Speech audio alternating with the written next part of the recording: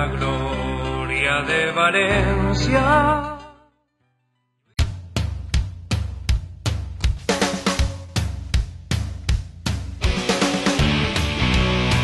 Uh, win. I like to win. I'm a very competitive person and uh, just want to win and be as successful as we can as a team. Uh, it was a great situation. I think uh, coaching, uh, the team, the city, you can't pass up on that. And so I decided to come here because it was the best place for, for me to be successful.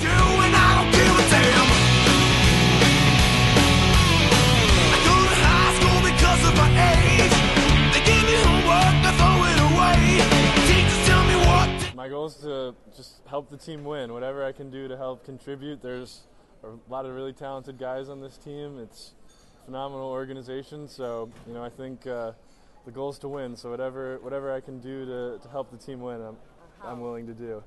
Um, you know, I think my uh, biggest asset is shooting. So I think I'm someone that can help spread the floor out. We've got a lot of talented guards and playmakers and things like that, and I think I can uh, create space for them uh, with my shooting ability. Yeah, yeah, yeah. I've been talking to Guillaume uh, a couple times this summer, so I saw he just made the national team, so I congratulated him on that. So that's that's really exciting. He's uh, he's a heck of a player, but he's an even better person, which makes it a lot of a lot of fun to be around.